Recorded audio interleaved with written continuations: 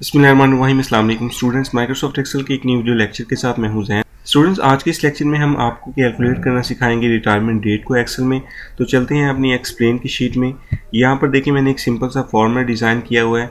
यहाँ पर हमारे पास एम्प्लॉयज़ की डेट ऑफ़ बर्थ है, यहाँ पर रिटायरमेंट डेट है और यहाँ पर रिमेनिंग ईयर ऑफ़ सर्विस है। ये देखें जैसे ही मैं यहाँ पर जो हमारे पास डेट ऑफ़ बर्थ है, इसको चेंज करूँ। मैंने यहाँ से चेंज किया रिटायर जो हमारी डेट ऑफ़ बर्थ है, उसको और एंटर की प्रेस की। जैसे ही मैं एंटर की प्रेस करूँगा तो आप देखें यहाँ पर हमारे पास जो रिटायरमेंट डेट है और जो सर्विस ईयर है, जो रिमेनिंग रह गए हैं, वो ऑटोमेटिकली चेंज होंगे। मैंने क्लिक किया एंटर किया तो देखें यहाँ पर रिटायरमेंट डेट जो है, वो ऑटोमेटिकली कैलकुलेट हो गई है। और जो रिमेनिंग सर्विस ईयर रह गए हैं, वो भी हमें यहाँ पर ऑटोमेटिकली कैलकुलेट होकर यहाँ पर शो हो गए हैं।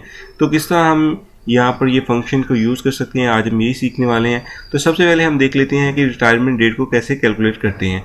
मैं यहाँ से फ़ंक्शन को डिलीट करता हूँ। आपने यहाँ पे आना है, यहाँ पर आपने लिखना है इक्वल टू और एक फ़ंक्शन होता है ई डेट का। मैं ई डेट का यहाँ पर फ़ंक्शन यूज़ करूँगा। तो जो भी कंपनीज़ होती हैं डिफरेंट कंपनीज़ में डिफरेंट रूल होता है। कहीं पर 55 ईयर में डेट 55 ईयर की जो एज होती है, वहाँ उस एज पर रिटायरमेंट करते हैं। कहाँ, कहीं पर जो है वो 60 ईयर में जाके जो है रिटायर करते हैं पर्सन को तो हम लेंगे यहाँ पर सिक्सटी ईयर सबसे पहले आपने क्या करना है ई डेट के फ़ंक्शन में यहाँ पर टू आर्गूमेंट्स हैं start date and months start date में आपने डेट ऑफ़ बर्थ ले लेनी है कॉमा प्रेस करना है। अब यहाँ पर मंथ है तो मंथ मैं कहता हूँ कि जी मैं सिक्सटी ईयर ले लेता हूँ। ये देखिए मैंने यहाँ पर सिक्सटी लिखा है, इसको मैं मल्टीप्लाई कर देता हूँ ट्वेल्व के साथ। तो साठ साल की एज में हर हर ईयर में ट्वेल्व मंथ होते हैं, मैंने इसलिए ट्वेल्व लिया, यहाँ पर ब्रैकेट को मैंने क्लोज किया और एंटर किया।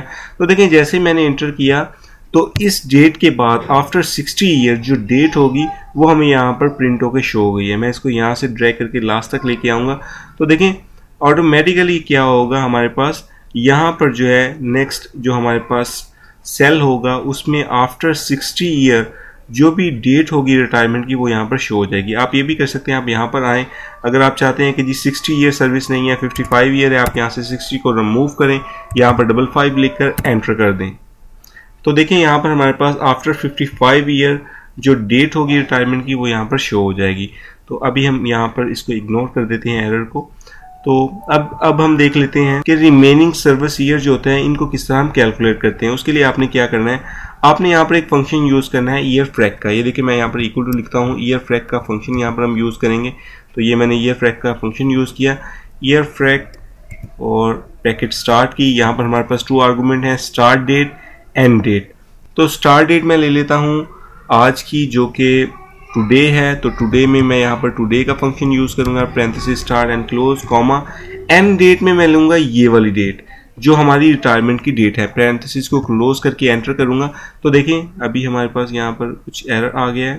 तो ये देखें, यहाँ पर मैंने जो हमारा फ़ंक्शन है टुडे का ये ठीक यूज़ नहीं किया। तो मैंने टुडे का फ़ंक्शन जो है, इसको ठीक से यहाँ पर इम्प्लीमेंट किया एंटर किया। तो देखें, यहाँ पर हमारे पास जो रिमेनिंग ईयर ऑफ़ सर्विसेज़ हैं, वो यहाँ पर शो हो गए। मैं इसको यहाँ से ड्रैग करके लास्ट तक लेके आऊँगा। तो हमने यहाँ पर रिमेनिंग सर्विस ईयर जो है वो भी कैलकुलेट कर ली है। तो इस तरह आप रिटायरमेंट डेट और जो रिमेनिंग ईयर ऑफ़ सर्विसेज़ होती हैं उनको कैलकुलेट कर सकते हैं एक्सेल में। मैं उम्मीद करता हूँ कि आपको एक्सेल में रिटायरमेंट की जो डेट है वो कैलकुलेट करने की समझ आई होगी और रिमेनिंग ईयर ऑफ़ सर्विस को कैलकुलेट करने की समझ आई होगी। अगर आप इसी तरह की एक्सेल की मजीद वीडियो से अपडेट रहना चाहते हैं तो अभी हमारे चैनल को सब्सक्राइब कर लें। I hope you like this video thanks for watching this video